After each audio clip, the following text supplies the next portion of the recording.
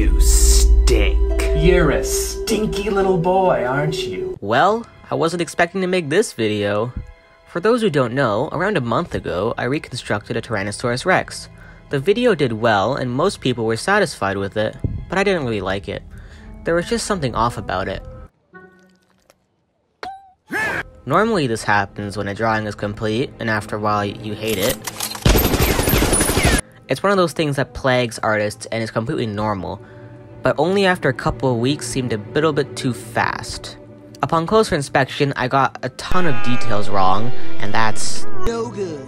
Since I was making a series leading up to a nice paleo art piece, it was important that my depictions were accurate, and that I liked them.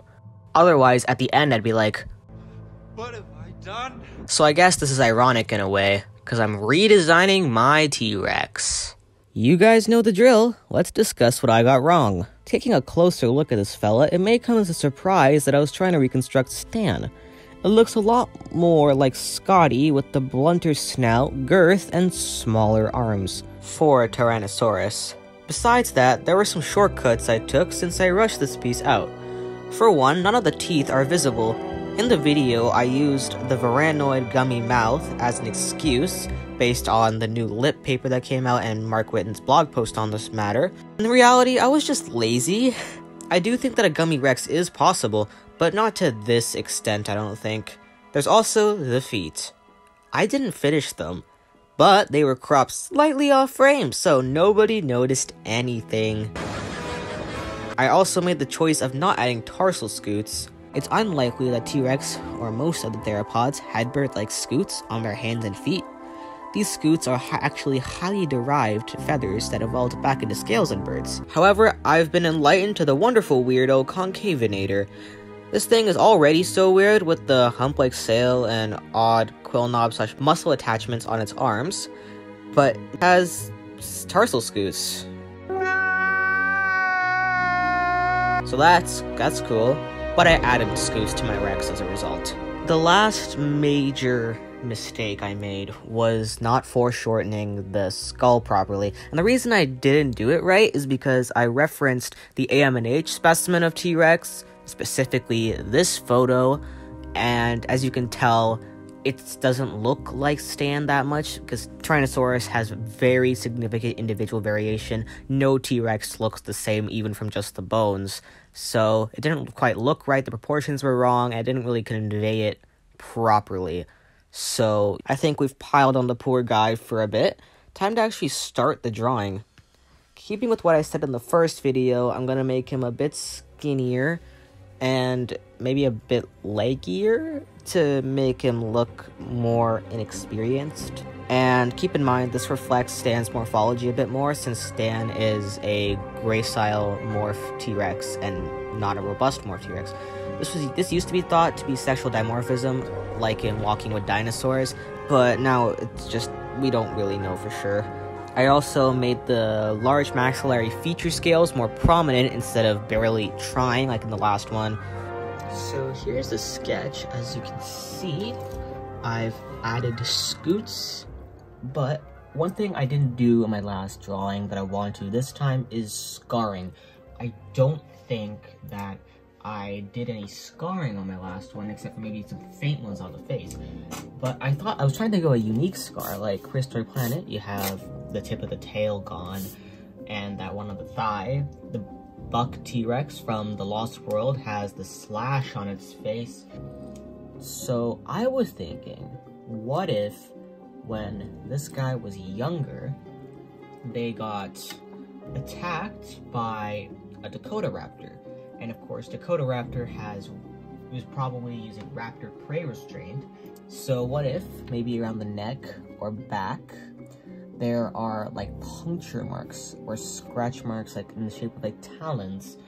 Maybe the Dakotaraptor got him when he was a, a subadult and bit off more than he could chew and it escaped. You can have scars. I'll probably add that during the coloring phase.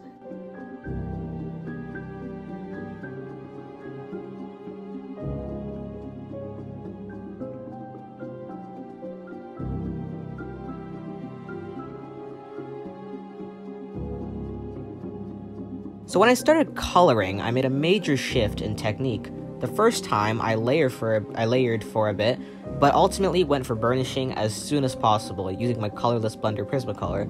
The problems are that A, the blending will be patchy and a bit faded from the added wax, which you can clearly see, and B, you can't really layer on top of it as the tooth of the paper is completely flattened, so it doesn't stick.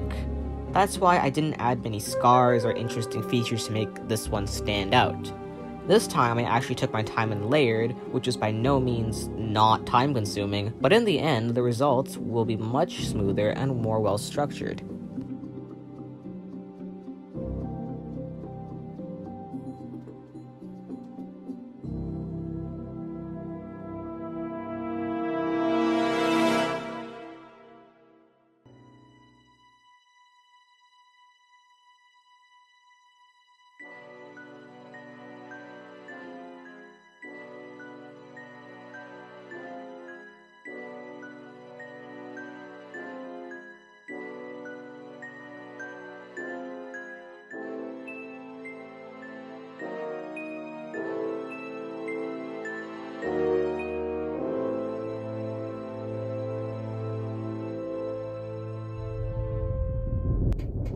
You know, I was just thinking, I've seen a red-headed T-Rex before.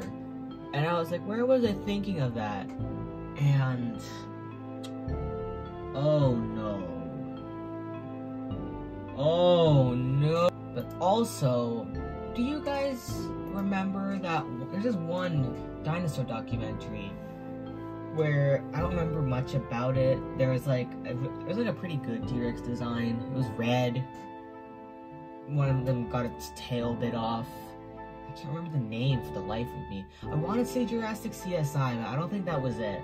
Well, yeah, I know there was the one, um, James Gurney video he did about unconventional oil techniques, where he, uh, painted a couple red T red-headed T-Rexes. Man, red red heads just look good on T-Rex. I don't know. I don't know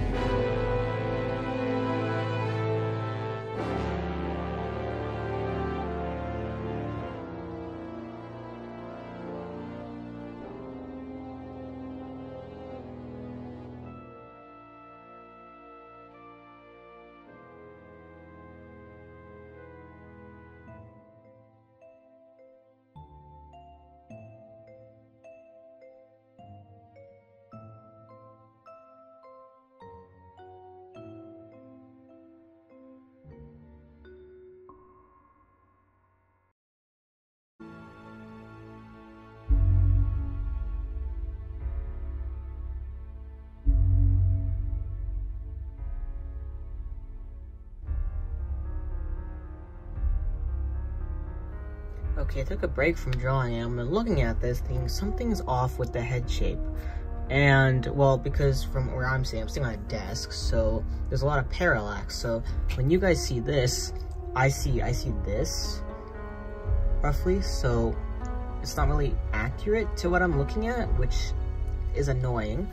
But I think it's because this part of the jaw, it's a bit too um, straight.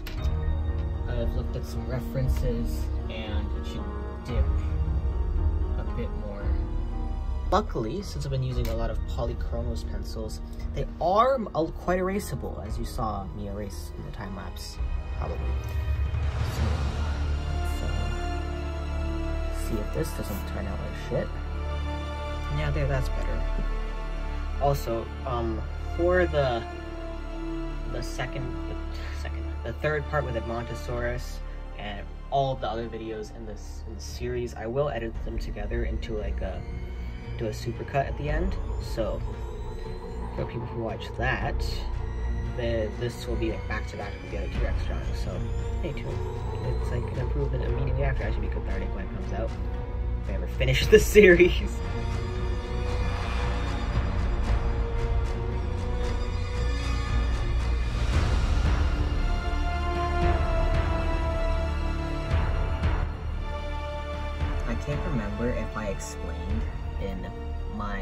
Video why I made the crests blue. And uh, the logic I was going on was basically, um, well, not only that they'd be brighter in the mating season, but also just that, um, since blue is a structural color, you can't really produce blue pigment. I don't, I can't, I don't think animals can do that. Um, it's by light shenanigans. And like, if you know, if you've seen blue jays before, like we have a lot of blue jays here, um, they tend to do, they're not actually blue, their, their colors just, their, their feathers just look blue because their feathers have a structure that is conducive to reflecting blue light. But when they go into shade or in a specific angle in the light, they look grayish, they don't look blue. And that's kind of what my thinking was here. It's like, oh, the, the crest wouldn't be that visible to prey because they'd like be in the shade or like hiding. So light wouldn't touch it and you know, it would be gray. It would look gray.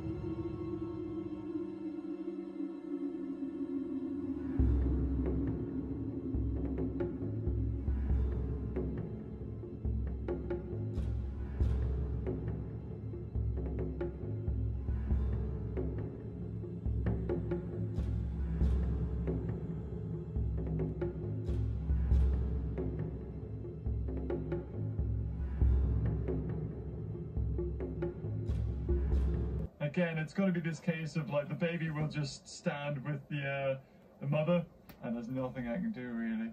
Just keep an eye on them. If they come this way, I could probably get a surprise attack. There's a T-Rex there.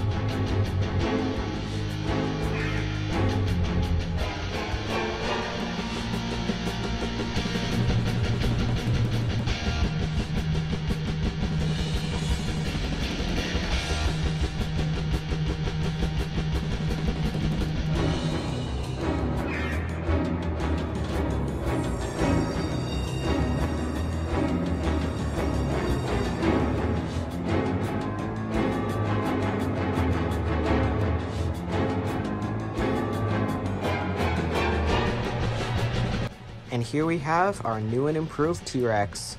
I'm sorry this video took longer than I thought. I did say in a community post it would come out last week, so yeah. But uh, thanks for watching, guys, and I'll see you in the next one.